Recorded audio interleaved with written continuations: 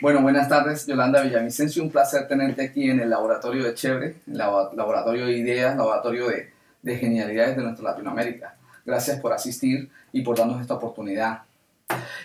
¿Quién es Yolanda Villavicencio para la gente que no la conoce? Ahí a la gente de, de Chevre en Latinoamérica. Bueno, yo soy una persona que nació en Colombia, una mujer muy luchadora. Desde muy joven pues me impliqué en temas sociales en el país, un país eh, como Colombia, eh, donde históricamente pues ha habido desigualdad, ha habido injusticias.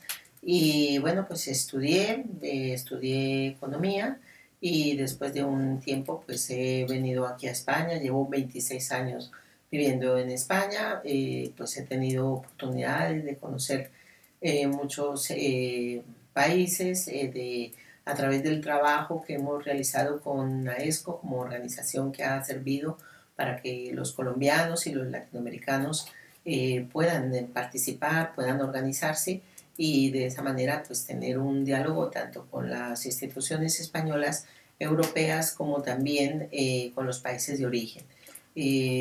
hablemos, hablemos de AESCO, hablemos un poquito de AESCO, esa, esa asociación que surge eh, en España para apoyo justamente al extranjero en un momento en que lo necesitaba, por allá por, por aquello de la, um, de la legalización de documentos y todas estas cosas. Yolanda toma la iniciativa social de crear AESCO.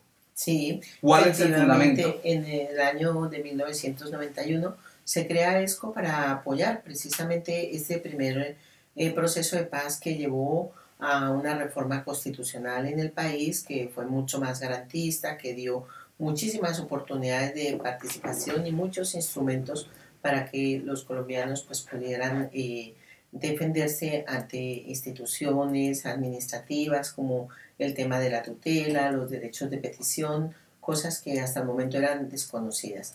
Y eh, en el año finales de los 90, pues es cuando sucede la crisis, sobre todo en la región andina, una crisis que significó una expulsión de muchos ciudadanos eh, que vinieron a España, mm, quizás muy identificados pues con el tema también de la lengua, la posibilidad de trabajo que en ese momento emergía en España, en un país que estaba en unas reformas también sociales y económicas de un proceso de transición que significó también oportunidades no solo económicas, sino para eh, desarrollo personal. En, en nuestra red, la gente también se identifica con las personas, ¿no? Eres una mujer muy trabajadora, muy dinámica, eh, estás, estabas ayudando mucho las, a las, los proyectos en Perú, eh, ya, no, ya, no es solamente con Colombia, sino es con toda Latinoamérica, pero queremos conocer esa mujer en la parte personal, Yolanda como ser humano, Yolanda como la persona que llega inmigrante también a un país hace 26 años, ¿cómo llegó esa mujer emprendedora, con ideas claras. ¿Cómo llegaste a España? A España, pues buscando también las oportunidades que eh, luego muchos inmigrantes eh, han venido buscando, porque un país que tenía falta de libertades, falta de expresión para la oposición, pues no era muy halagador para quien tiene una inquietud social y quien quiere trabajar por el cambio, ¿no? Fueron años muy duros en Colombia de muchísimo desaparición, de todo el proceso, pues, por ejemplo, de la UP, donde hubo pues muchísimas masacres y todo eso, pues, eh, hizo que al final yo tomara la decisión de, emigrar y llegar aquí, pues he construido también una familia y también pues formarme mucho más. He podido hacer unos máster en, en, cooperación internacional, en políticas intraeuropeas y todo eso pues me ha permitido pues también aportarlo a la sociedad, porque yo creo que la gente que tenemos ese privilegio y esa posibilidad de formarnos tenemos que brindarlo también y devolverlo a la, a la sociedad. Y digamos que eso es lo que yo he hecho desde AESCO, buscando que tenga un beneficio y un impacto social a través pues, de promover eh, actos legislativos, eh, políticas de integración aquí, y también eh, trabajar porque los países de origen pues reconocieran el valor de la migración porque durante todos esos años pues se hablaba mucho de las cuentas de los migrantes pero no de sus derechos.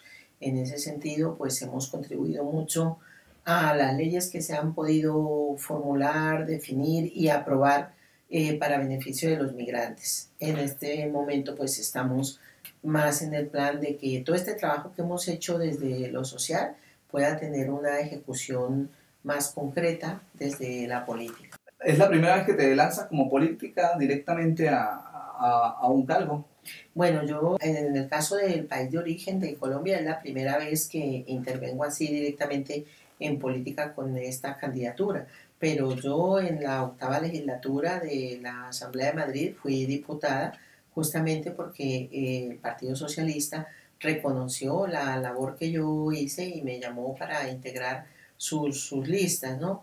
Pero bueno, creo que lo importante es lo que se hizo. Yo creo que cumplí un gran papel mediador entre los migrantes y las instituciones españolas en diferentes campos, ¿no? Fueron las épocas de las redadas en donde pues tuve una acción muy decidida y muy eh, de denuncia de esas redadas, pero también de una intervención directa donde podía eh, con la delegación de gobierno mirar los casos y hacerles ver que había injusticias en muchas de esas devoluciones que se iban a cometer o ver Mm, por las personas que llegaban allí indocumentadas y que podían estar eh, enfermas, pues que tuvieran una atención eh, digna, ¿no?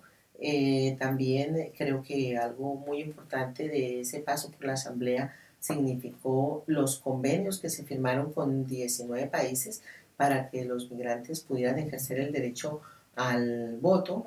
sobre todo mi papel estuvo en el hecho de la reglamentación de esos convenios para que efectivamente la gente pudiera estar eh, con la residencia de larga duración en los censos electorales y pudiera votar para elegir a los eh, alcaldes y concejales que eh, pues que elegimos cada cuatro años aquí en España. Vamos a ver si en este corto, primera parte de este, de este video, usted le manda un mensaje a la gente por qué tiene que votar por Yolanda Villavicencio. ¿Por qué tú eres una candidata fuerte al Congreso de los colombianos. Vamos, ahí tienes tu cámara. Yo les pido a los eh, colombianos que están en el exterior que me mandaten para continuar haciendo lo que he venido haciendo desde el campo social, porque creo que hemos tenido el valor de reivindicar y de lograr que haya mejoras eh, en muchos de los eh, aspectos que tienen que ver con derechos tan fundamentales como es la educación de los menores, por ejemplo. Hubo una época en la que aquí en España las personas indocumentadas, los jóvenes indocumentados no podían continuar sus estudios y logramos que la, el defensor del menor se pronunciara para que esos colegios, tanto públicos como concertados, admitieran a estos jóvenes que eh, querían continuar con su bachillerato al terminar la ESO y que no estaban documentados, por ejemplo. Algo que también lo estamos logrando ahora en el Ecuador. Yo Estuve hace ya casi un mes en Ecuador. Me encontré con esta, también con esta problemática por parte de los hijos de los eh, solicitantes de refugio colombianos, que es un número muy grande, cerca de 200.000 personas, que a pesar de existir la educación gratuita, pues no pueden ejercer ese derecho porque no tienen una documentación. Hemos logrado que el gobierno ecuatoriano decida documentar a esos niños con independencia de la situación de sus padres.